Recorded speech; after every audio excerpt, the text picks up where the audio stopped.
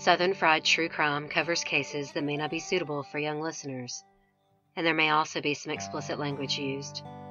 Listener discretion is advised. I'd like to emphasize that today's episode is especially graphic and grisly.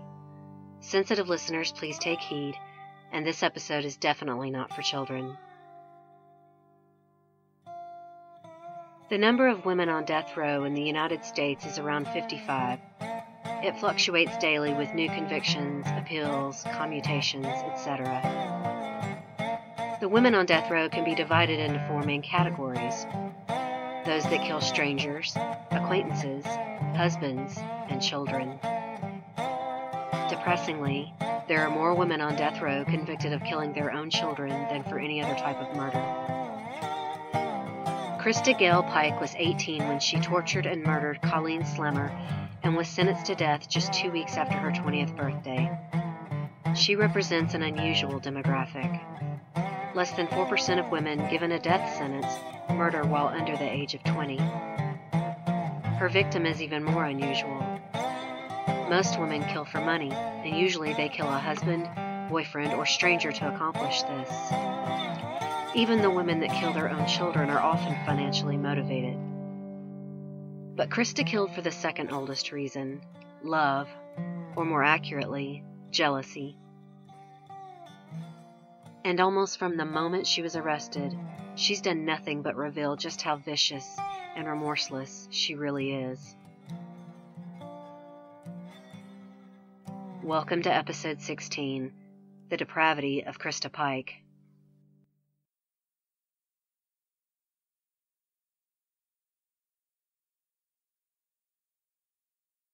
The old newsroom saying, if it bleeds, it leads, still holds true. But the narrative of the story usually is centered on the victim. Holly Bobo comes to mind. When a beautiful white woman is murdered, her name will be used in the media more than her killers. But Colleen Slemmer's murder was different. She was definitely an attractive young blonde woman, too, and yet the focus has always been on her killer, Christa Pike. I said in the opening that Christa is an unusual killer, not just because of her age or who she killed, but because of her depravity. That is the reason Christa is so notorious, why we are so fascinated. When any young, attractive white woman kills, her face and name will dominate the headlines. But when she is revealed to be a true monster, the public becomes obsessed. The day after Christa Pike was sentenced to death for the murder of Colleen Slemmer, she wrote a letter to her boyfriend and accomplice, Tadaryl Shipp. She said, quote, You see what I get for trying to be nice to the hoe? I went ahead and bashed her brains out so she'd die quickly instead of letting her bleed to death and suffer more, and they fucking fry me. Ain't that some shit? If this is the first time you're hearing of Christa Pike, I bet you won't forget her now. But let's first talk about her victim, an innocent, sweet girl, determined to get an education despite a learning disability. Colleen Ann Slemmer was born September 20th, 1975, in Pennsylvania. Her parents soon divorced, and her mother, May, moved to Florida and remarried a man named Raul Martinez. Colleen would be close to her stepfather, but still see her biological father, Mike, on holidays. Colleen had a reading disability and dropped out of school in the ninth grade, frustrated with her grades and life. She was working fast food jobs and considering going back to school when she learned that she could get her GED in the Job Corps. She decided to join the Knoxville Job Corps because she wanted technical training in computers, training that was not offered at the Job Corps near her hometown. May Martinez dreaded her daughter leaving but she knew she was a good girl who could excel given the chance. Colleen arrived in Knoxville, Tennessee in early September of 1994. Just three weeks later, Colleen would call her mother, very upset. She was disappointed with the depressing facilities, the graffiti littered walls, and there was little supervision. She told her mother that the kids there ran wild. Her room had already been rifled through and some of her things stolen. She didn't want this life. She was serious about her education. Her mother was sympathetic, but reminded her that she had signed a contract for six months. If she could last six months, she could come back home and then decide what she wanted to do. Colleen also told her mother that there were three students there who were stalking and bullying her. She said one in particular had shown up in her room in the middle of the night, standing over her bed, flashing a knife at her before she left. This girl was convinced that Colleen wanted her boyfriend. Colleen cried to her mother that she did not want him and she didn't even really know him. But she never mentioned their names to her mother. May Martinez told her daughter she should go and see the Job Corps counselor and let them know what was going on. She did, but her counselor was unsympathetic and brushed her off, telling her he would look into it. There is no evidence that he ever followed through with this. May was worried for her daughter, but not to the point where she thought Colleen should quit and come home. We have to remember the context of when this happened. In 1994, stalking was just beginning to really be understood. The murder of actress Rebecca Schaeffer brought about the first American anti stalking laws in California in 1990, just four years earlier. And it would be five more years before the Columbine tragedy and bullying in schools would jump to the forefront of our culture. And Colleen quit complaining and stuck with the program, despite the harassment she was going through. She called her mother after the Christmas break, which she had spent in Pennsylvania with her father, sounding excited and happy again, and definitely jubilant at the thought of returning home in a month. This was January 7th, five days before her murder. She actually called her mother again on the day of her death. But she got off the phone quickly because she was headed out to rent a movie at Blockbuster Video with a friend.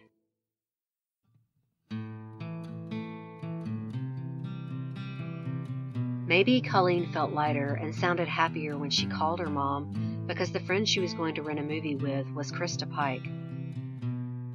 She had never named her main tormentor to her mother, and she didn't mention a name now, but maybe her happiness was relief.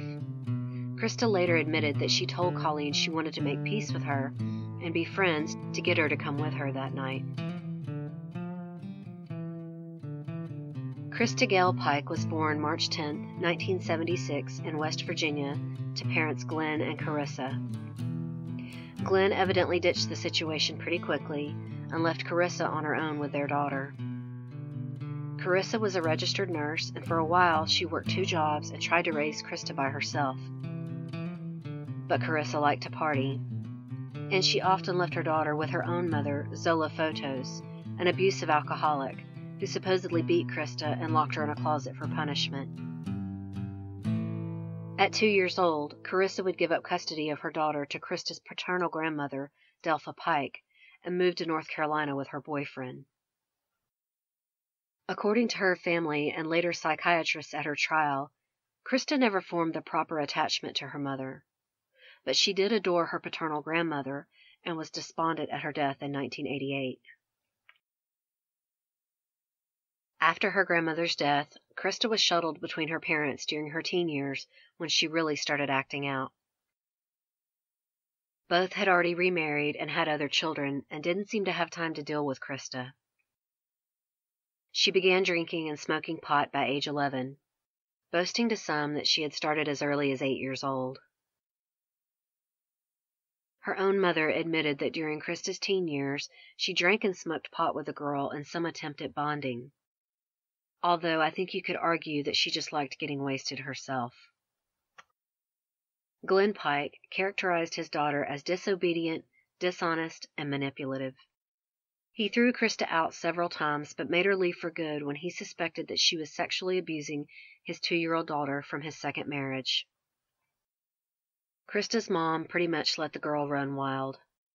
At 14, Christa was allowed to let her boyfriend move in, until they got into such a physical fight that Christa pulled a knife and the cops were called. But no charges were filed. She wasn't in school. She couldn't keep a job. Her father was done with her, and her mother was at her wits' end. Carissa finally got Christa enrolled in Job Corps. She could get her GED and hopefully some vocational training so she'd be able to get a job. Christa actually was interested in the training to become a nurse's assistant. She left Durham, North Carolina, and headed for Knoxville, Tennessee.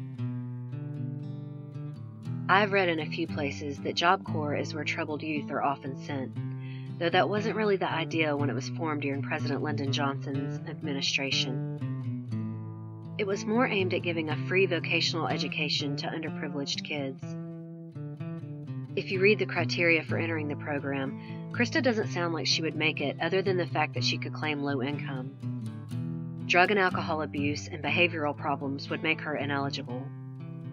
To this day, their website claims that students will, quote, build friendships and benefit from a supportive network of peers while living in a safe, drug and violence free environment.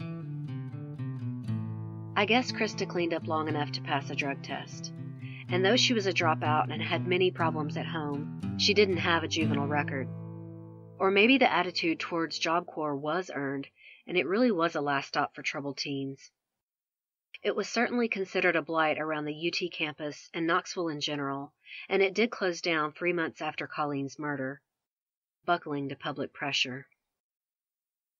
Christa Pike had been at Job Corps about a week when she met a young African American teenager from Memphis named Tadaryl Shipp.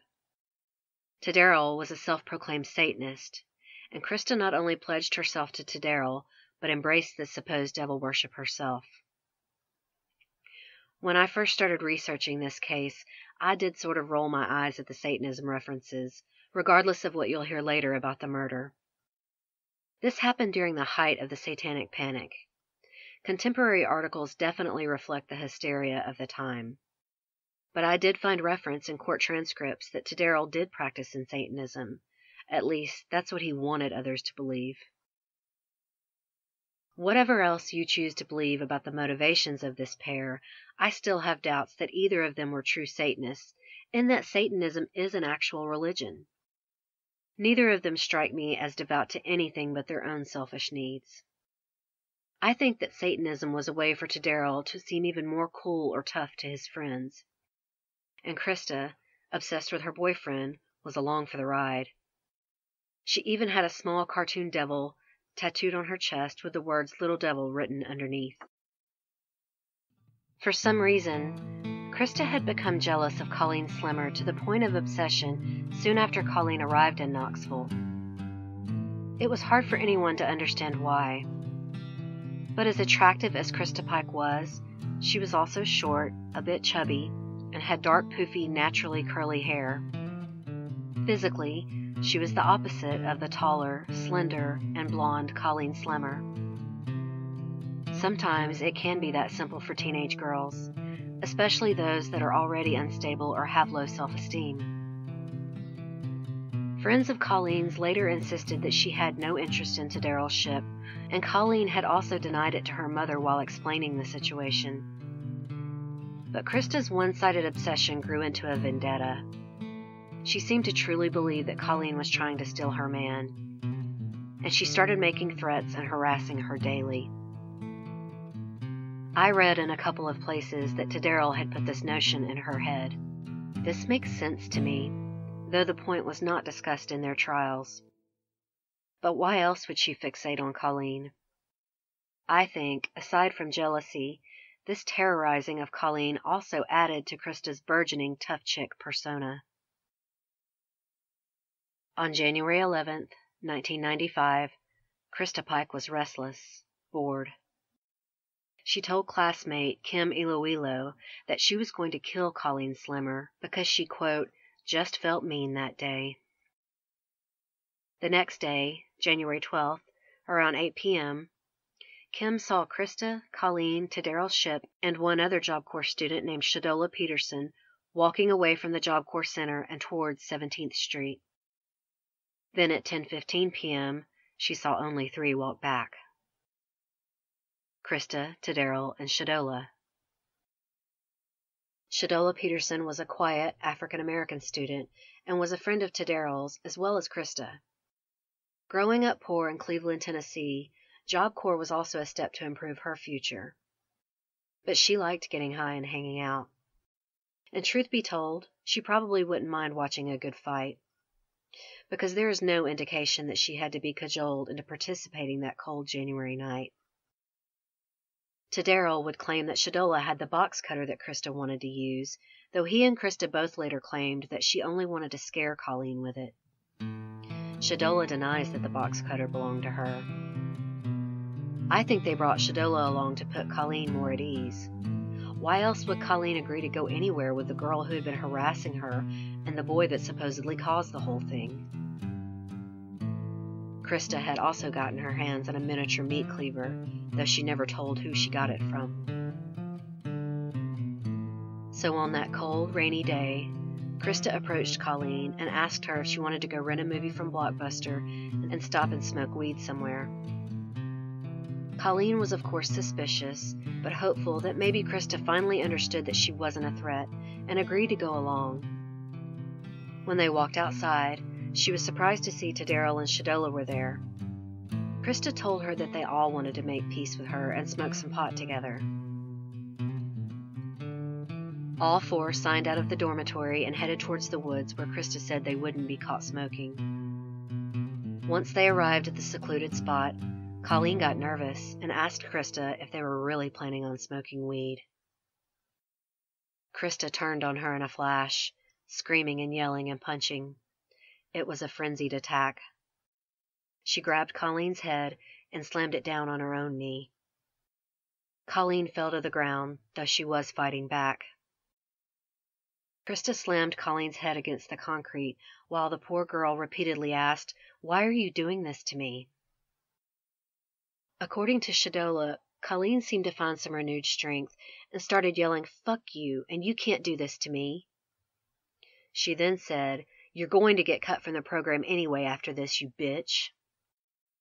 At this, Christa kicked her in the face, screaming, Shut up. She kept kicking her in the side and all over her body as Colleen cried, rolling into a ball.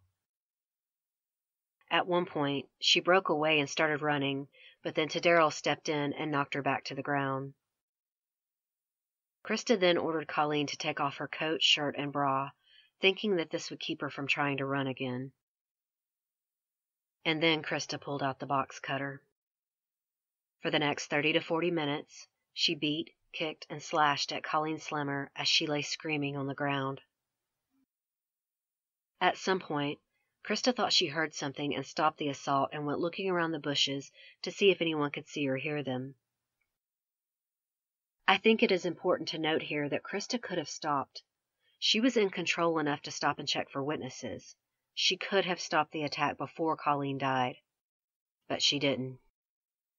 She then returned and pulled out the meat cleaver. Somehow, Colleen managed to get up and run again, half naked and bleeding, and again Tadaryl stopped her, and this time slammed her head into the ground. Christa kept slashing at Colleen all over her body and used the cleaver on her back.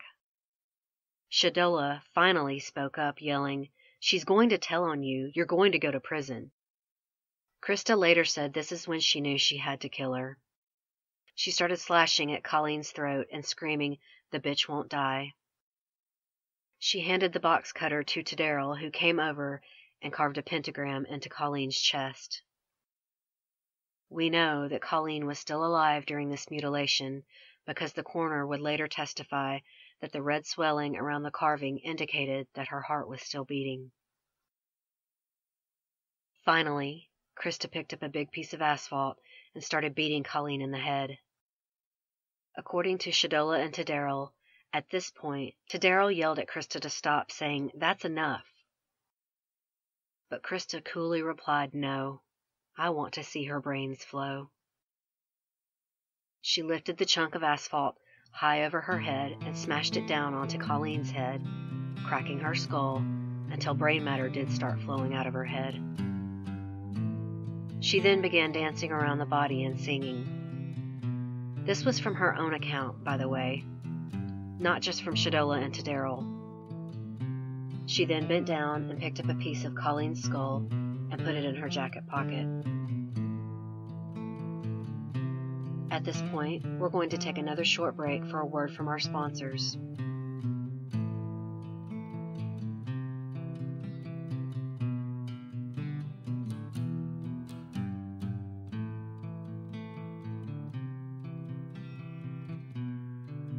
Later that night, Christa went back to Kim's room and bragged that she had killed Colleen and said she had brought back a piece of her skull as a souvenir, which she proudly showed to Kim. She said Colleen had begged her to stop cutting and beating her, but she didn't stop because Colleen would not quit screaming and crying. She also told Kim about the meat cleaver and the pentagram that was carved into Colleen's chest. She claimed that they also carved one into her forehead, but with the mutilation and damage to Colleen's face and head, that was never proven. I'm not sure why that even matters. What she had done was horrific enough. I guess the point is, she was even embellishing as she bragged to Kim, and she was also dancing around and doing her sing song thing again. When Kim saw Christa at breakfast the next morning, she asked her what she had done with the piece of skull. Christa told her that it was in her pocket and then said, And yes, I'm eating breakfast with it. During a class later that morning, Christa also told another classmate, Stephanie Wilson. Christa pointed to brown spots on her shoes and said, That ain't mud on my shoes, that's blood. She then pulled a napkin from her pocket and showed Stephanie a piece of bone, which she said was part of Colleen's skull. Just like with Kim, Christa told Stephanie all of the gory details, her story not varying much. She again gleefully recalled how Colleen's blood had poured out and that she had seen her brains. Neither Kim Iloilo nor Stephanie Wilson reported Christa's statements to the police. And the day after her murder, on January 13th at around 8 a.m., an employee at the University of Tennessee Grounds Department discovered Colleen's body near the greenhouses on the agricultural part of campus. Officers from the Knoxville Police Department and the UT Police Department quickly arrived at the scene. Colleen's body was lying face down on a pile of debris. She was nude from the waist up. She was covered in blood and dirt. Her head had been bludgeoned. Multiple cuts and slashes were all over her torso. Her face was so mutilated it would not be recognizable. She was later officially identified through dental records. As other officers arrived, they began securing the crime scene. The bushes were trampled. There were hand and knee prints in the mud and drag marks. A large pool of blood was found about 30 feet from Colleen's body. The full crime scene would eventually be 100 feet long by 60 feet wide, or about 30 by 18 meters. Homicide Detective Randy York with the Knoxville Police Department noticed a group of girls standing over to the side watching, and one particular girl was giggling. That was Christa Pike. By now, word of the discovery of Colleen's body had gotten out, and both Kim Iloilo and Stephanie Wilson now called the authorities and told them what Christa Pike had been bragging about. Christa, Tadaryl, and Shadola were picked up within 36 hours of the murder and taken in for questioning. One of Christa's teachers found her jacket left in a classroom and turned it in to the police after seeing the news. The piece of Colleen's skull was still in the pocket. Christa waived her Miranda rights and signed a waiver before questioning. She explained in graphic detail exactly how she tortured and killed Colleen Slemmer. Her statement was tape recorded and transcribed into 46 pages. At trial, copies of the transcription were given to the jury, and the jurors were allowed to listen to the tape through individual headphones. In her statement, Christa claimed that she and Colleen had been having problems for a while. She even claimed that she was the one who woke up one night to find Colleen standing over her with a knife.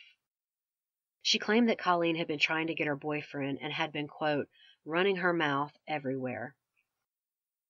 Christa also claimed that Colleen had deliberately provoked her because she knew Christa would be terminated from the Job Corps program the next time she became involved in a fight. Christa insisted that she had not planned to kill Colleen Slemmer, but instead planned to only fight Colleen and to let her know, quote, to leave me the hell alone. However, she did admit that she had taken the box cutter and the meat cleaver with her when they had all left the Job Corps Center that day. She said she had borrowed the miniature meat cleaver, but refused to identify the person who had loaned it to her. She coldly recounted how Colleen had repeatedly tried to get up and run.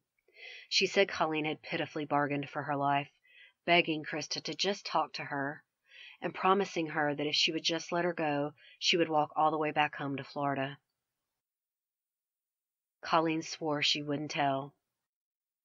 Christa told her to shut up because, quote, it was harder to hurt somebody when they're talking to you. She said the more Colleen talked, the more she kicked her in the face. Eventually, Christa said she could hear Colleen breathing blood in and out and could see her jerking around on the ground. She even got up and mimicked this to the stunned officers in the room. She said the last thing she said to Colleen was, quote, Colleen, do you know who's doing this to you?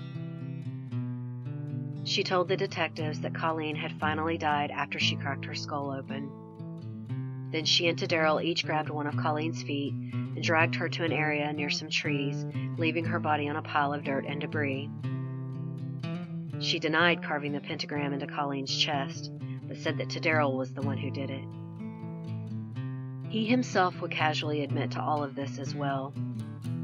Where Christa seemed to be enjoying the recounting of the torture, Tadaryl was calm and matter of fact in his confession. He did admit to worshiping the devil, but denied that Colleen's murder was a human sacrifice and that carving the pentagram into her chest was just something that popped into his head. At trial, after Christa's statement was played for the jury, the prosecutor introduced pictures of Christa and Tadaryl taken at the Knoxville Police Department on the day the statement was given, January 14, 1995. In the pictures, both of them were wearing pentagram necklaces. I am going to point out again that I think the Satanism angle of this is bullshit. These were teenagers acting tough, trying on personas, I don't believe they truly practiced Satanism as a religion, nor do I believe that this was any sort of ritualistic occult killing. Christa Pike brutally beat, slashed, and bludgeoned another teenager to death. Tadaryl was her accomplice and probably an instigator. The pentagram was just an afterthought. Detective Randy York testified at Christa's trial that she took him to the exact location where Colleen's body was found. He said her affect veered between bored and impatient to gleeful. She was enjoying reliving the murder. Tadaryl Shipp, on the other hand, was just cold. Shadola Peterson was scared and quiet. She was the only one of the three to make bond, and she quickly made a deal with the prosecution for her testimony against Christa and Tadaryl. It is debatable how much she did or did not participate, but there was no physical evidence tying her to the murder. Neither Christa nor Tadaryl had bothered to hide or dispose of their own clothing used during the murder, and Colleen Slemmer's DNA was found on both. Dr. Sandra Elkins, the Knox County medical examiner, performed the autopsy on Colleen. Dr. Elkins described her body as covered with dirt and twigs. After removing the rest of her clothes and cleaning the body, Dr. Elkins had attempted to catalog the slash and stab wounds on Colleen's torso by assigning a letter of the alphabet. There were so many wounds that eventually Dr. Elkins decided to catalog only the most serious and major wounds. She explained that to catalog every one of them, she would have probably been in the morgue for three days. She had counted over 300 superficial wounds before she gave up. These were in addition to the mortal wounds that Colleen had suffered to her throat and the bludgeoning to her head. In addition, Dr. Elkins said Colleen had purple contusions on her knees, indicating fresh bruising consistent with crawling, and defensive wounds on her right arm. Cause of death was the blunt force trauma to her head, but she would have died eventually from the slashes to her throat and internal injuries. Dr. Elkins had sent the skull to Dr. Murray Marks, an anthropologist at UT, so it could be reconstructed. She needed to reconstruct the skull in order to see how much force was applied, as well as the weapon that was used. Pieces of asphalt were found embedded in the skull. During the trial, the state put Colleen Slemmer's actual skull into evidence, not just the one piece that Christa Pike had kept, the whole skull. Dr. Murray Marks used the skull in demonstration for trial testimony. The skull had been thoroughly cleansed, but honestly, I cannot believe they used it at the trial. They could have made a model of the skull after reconstructing it. They simply could have used autopsy photos to show the damage and introduce the pieces of asphalt. The only probative value of having the skull in court was to show that the piece Christa had taken fit perfectly, like a piece to a puzzle. And, of course, this was a hotly debated argument on appeal. But the judge astonishingly ruled that it was no more prejudicial than a model would have been. I strongly disagree for so many reasons, but really, why did they need to do this? Aside from the crime scene and autopsy photos, they had two confessions and eyewitness testimony from Shadola Peterson. This was overkill. Ironically, maybe that was their point to show the overkill used in Colleen's torture and murder. And Christa's defense was based on diminished capacity. Dr. Eric Engum, a clinical psychologist, testified for the defense and stated that he had conducted a clinical interview and had administered a battery of tests to Christa Pike.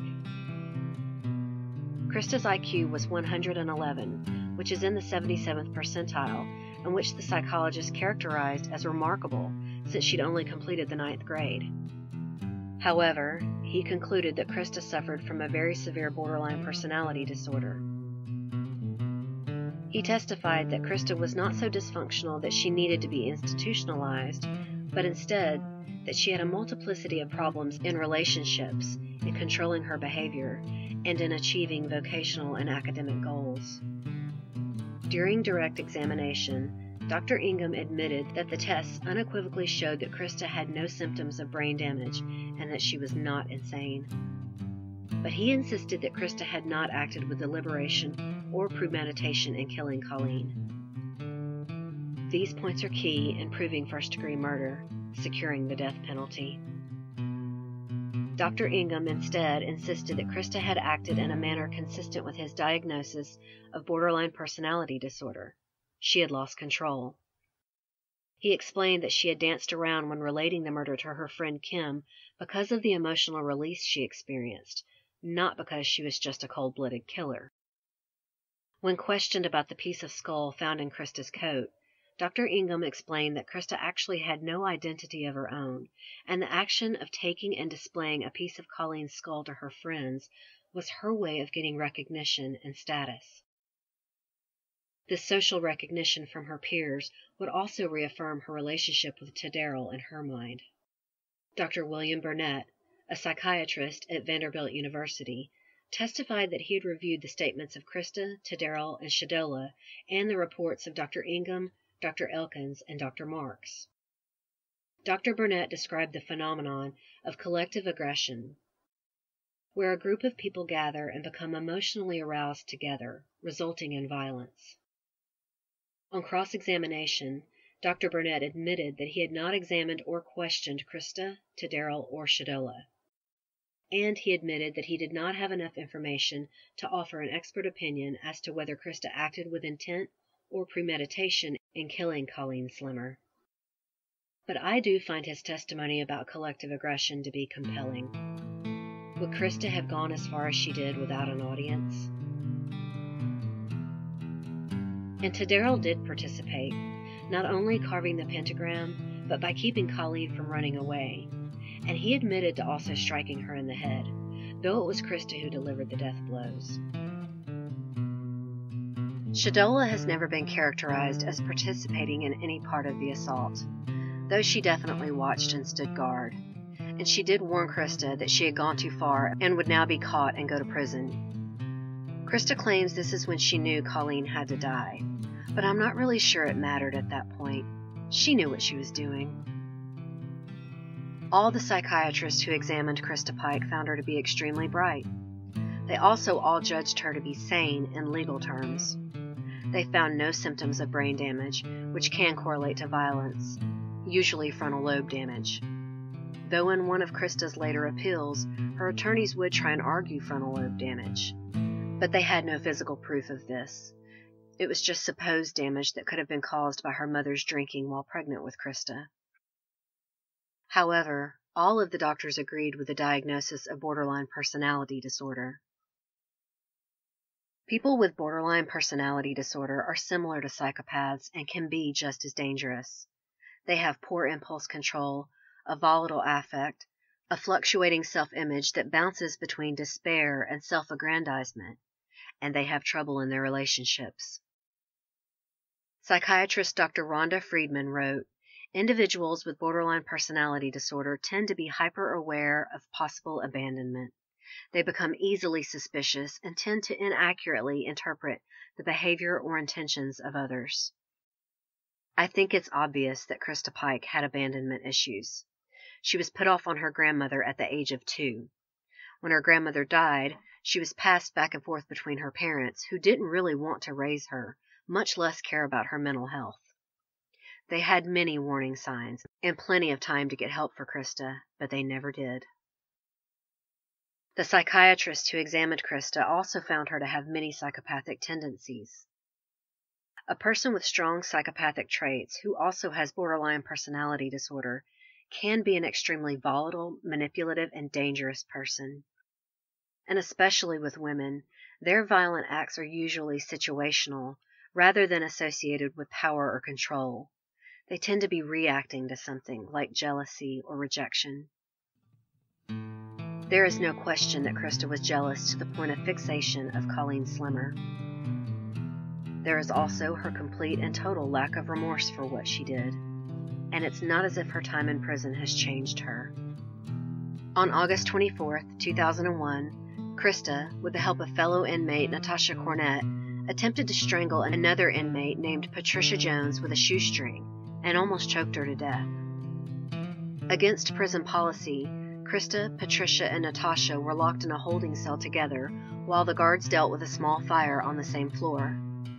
I've read that many people believe that the guard who made this decision did it purposely, and while he was reprimanded, no charges came of it. And there was not enough evidence to charge Natasha Cornett as her accomplice but Christa was convicted of attempted first degree murder on August 12, 2004. A transcript of Christa's conversation with her mother on the phone shows that she laughed as she described how Patricia looked as she fell unconscious to the floor after being choked with the shoestring. She said, I wrapped that shoestring around her and tried to choke the life out of her. She was passed out on the ground, Mama, twitching and foaming at the mouth. Her eyeballs was bugged out so far her eyelids were flipped up. She said all this with glee, and then she said, I bet you if she gets near me, I'm going to do it again. I'm going to succeed this time. See, now I know the difference between premeditated murder and what happened with Colleen. 'Cause see, I premeditated the hell out of this.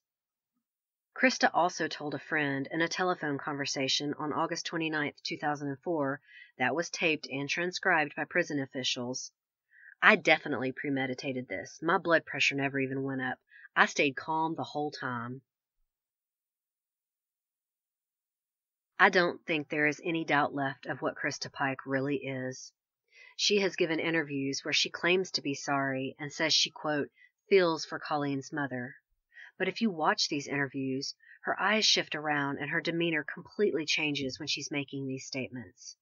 She is not good with a mask. This is what keeps her from being a true psychopath. Having said that, she is still legally sane. And in Tennessee, we still have the death penalty. It only took the jury three hours to deliberate and find Christa guilty. At sentencing, Judge Mary Beth Leibowitz imposed the harshest sentence possible. Just two weeks after her 20th birthday, Christa Pike became the youngest woman on death row and she was scheduled to have a date with Old Sparky, the nickname of Tennessee's method of execution at the time, which was electrocution. In 1999, Tennessee courts ruled in favor of changing that method to lethal injection. Though death row inmates convicted before 1999 still have the option of Old Sparky if they want it. In June 2001 and then again in June 2002, against the advice of her lawyers, Christa asked the courts to drop her appeal and sought to have her execution scheduled. Judge Mary Beth Leibowitz granted this request, and an execution date of August 19, 2002 was set. But Christa soon changed her mind again and went ahead with the appeals process. She was denied a new trial in 2008. The one thing Christa Pike has seemed to be scared of at least from what I can tell watching her interviews over the years as she grew older, was the electric chair. It's the reason she attacked Patricia Jones in prison, adding another 25 years to her sentence. Because Jones taunted her about being electrocuted, calling her chicken fried, even though obviously by 2004 Christa had chosen the needle. If she is executed, she will be the first woman in Tennessee since 1837. But she is still fighting it. In March of 2016, a federal judge, Harry Mattice, rejected her appeal. In a 61 page opinion, he not only rejected the appeal, but he refused to grant permission for an appeal to the Sixth Circuit U.S. Court of Appeals. But Christa's current attorneys likely will ask the Federal Appeals Court and the U.S. Supreme Court for review anyway, even if the odds of success are slim. There have been 16 women executed since the death penalty was reinstated in the United States in 1976. Six of those were husband killers, two were family annihilators, and one killed her child. The rest were strangers or acquaintances. Like I said in the opening, Christa Pike does not fit in with any of the women already executed or those on death row. She is an anomaly.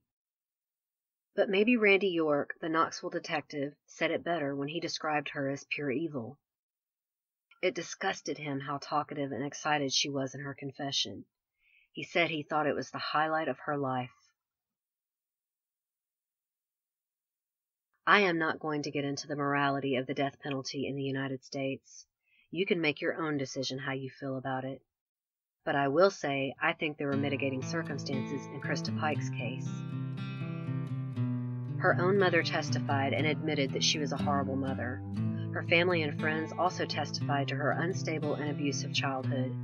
She was diagnosed with borderline personality disorder. It is possible that we could learn more from Christa Pike if we studied her rather than putting her to death, especially because she's a woman. Colleen Slemmer's murder was so very senseless. It was not racially or sexually motivated, certainly not financial, and even the perceived motive of jealousy was completely false. I've never covered a case before where I believe the murderer killed for the sheer thrill of it, and I'm not sure that's exactly what happened here either. But I do believe that Christa initially attacked in an uncontrolled frenzy, and she did indeed enjoy it but she had a moment to cool off and reflect when she stopped to make sure there were no witnesses. But by then, she had passed from assault into attempted murder, and she knew it. She willfully killed Colleen Slemmer, and I believe she does not truly regret it.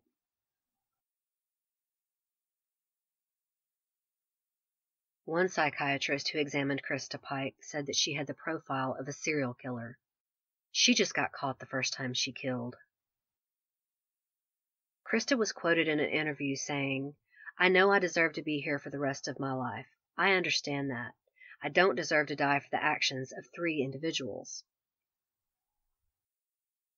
Though she tried to cover for them at the time, she now claims Tadaryl and Shadola equally participated. This is contrary to not only her own confession, but their statements and even the physical evidence. For their parts in the torture and murder of Colleen Slemmer, Tadaryl Shipp received two consecutive life sentences, one for the murder and the other for conspiracy. Shadola Peterson received a six-year suspended sentence and was put on probation. Tadaryl escaped the death penalty because he was 17 at the time of Colleen's murder and therefore tried as a juvenile. He was given the harshest sentence under the law. Shadola's deal was a plea bargain for her testimony against Christa and Tadaryl. I am still conflicted about just how complicit Shadola Peterson really was. Did she really give the box cutter to Christa? Was she egging on the fight? I think she did both of those things, and I'm not sure she got the sentence she deserved. I think back to Colleen's phone call to her mother when she said that three students were harassing her.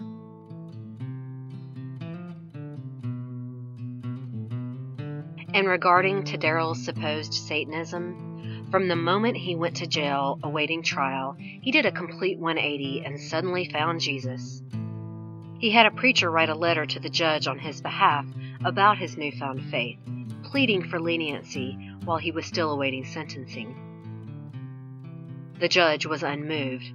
She said that Tadaryl Shipp was a dangerous man with no regard for human life. I think she's right. Christa may have led the assault on Colleen, but Tadaryl not only stopped Colleen from running, he assaulted her as well, and he admitted to being the one that carved the pentagram into her chest. I have no doubt he's sitting right where he should be. In 2012, an escape plot was uncovered at the Tennessee prison where Christa Pike is housed. She had a boyfriend on the outside conspiring with a guard. The guard was immediately fired and brought up on charges along with the boyfriend. In other recent news on the case, I discovered that the state of Tennessee has never released that piece of Colleen's skull back to her family. The piece that Christa saved as a souvenir and showed off to her friends. Her mother, May Martinez, has been fighting for over 23 years to fully lay her daughter to rest. The state's position is that they must keep it for evidence until all avenues of appeal have been exhausted. And we are almost there. I cannot imagine the heartbreak and anger Colleen's family went through and are still going through to this day. And as you may have guessed, they want Christa Pike put to death. They're tired of waiting. It's hard to blame them. I'll leave you with the words of Colleen's mother. May Martinez said, I don't feel the taxpayers' money should go to keep her alive. Why should she have the privilege to live? Southern Fried True Crime is written and produced by me, Erica Kelley. The original graphic art is by Coley Horner, and Southern Fried's original music is by Rob Harrison of Gamma Radio.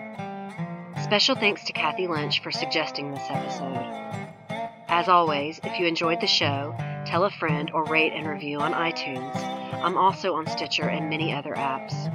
If you're interested in supporting the show, come check out my Patreon page or my website, southernfriedtruecrime.com. I also have a merchandise store open at whatamaneuver.net. If you have any comments, corrections, or suggestions, you can email me at southernfriedtruecrime at gmail.com. I love hearing from you guys, and I'm always looking for new cases, so please feel free to reach out. I'm also all over social media. Just search the show name in your favorite platform if you'd like to connect with me there. If you're interested in discussing Christa Pike's case or any other episodes further, come check out my discussion group. It's linked to my main Facebook page. I would love to hear your thoughts. Until next time, thanks so much for listening. Y'all take care thank you